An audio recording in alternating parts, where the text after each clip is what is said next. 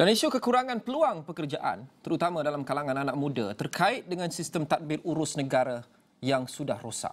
Perdana Menteri Datuk Seri Anwar Ibrahim yakin Malaysia berpotensi untuk diangkat semula sebagai negara hebat di rantau ini. Namun tanggungjawab untuk membersihkannya bukan hanya terletak pada tokoh politik, tetapi juga majikan dan entiti korporat. Jelas Perdana Menteri, kelonggaran dalam program rekalibrasi tenaga kerja atau RTK 2.0 yang bermula pada 27 Januari lalu itu terpaksa dilakukan untuk mengatasi masalah kekurangan tenaga kerja.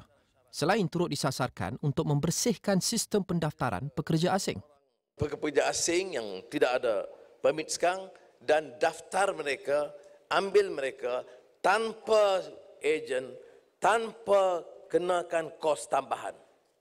Mengapa seorang maid miskin dari Lamongan Jawa datang bekerja dan bayarannya harus RM20,000, RM25,000? Mengapa dari Bangladesh kita ambil seorang pekerja gajinya RM2,000 tetapi syarat kemasukan mesti RM25,000? Mengapa di Nepal kerajaannya memutuskan dan menetapkan kos hanya RM3,700?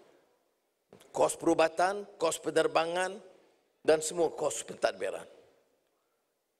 Dan mengapa kita tidak ada upaya mempertahankan hak pekerja sama pekerja tempatan atau pekerja luar menghalang dari apa bentuk penindasan ke atas mereka.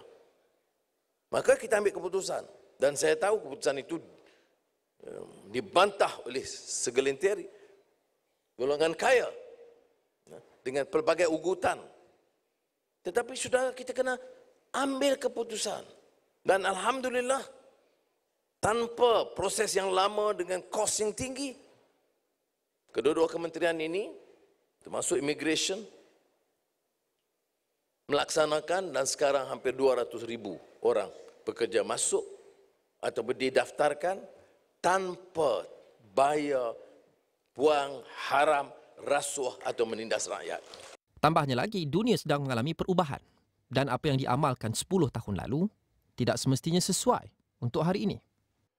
Beliau berkata demikian ketika berucap merasmikan skim keselamatan sosial suri rumah dan Karnival Kerjaya My Future Jobs 2023 di Pusat Konvensyen Kuala Lumpur pada Sabtu.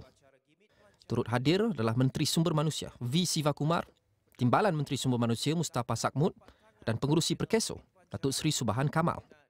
Skim Keselamatan Sosial Suri Rumah atau SKSSR yang diperuntukkan di bawah Akta Keselamatan Sosial Pekerja 2022 menyediakan perlindungan terhadap bencana domestik dan keilatan kepada suri rumah sewaktu menjalankan urusan rumah tangga.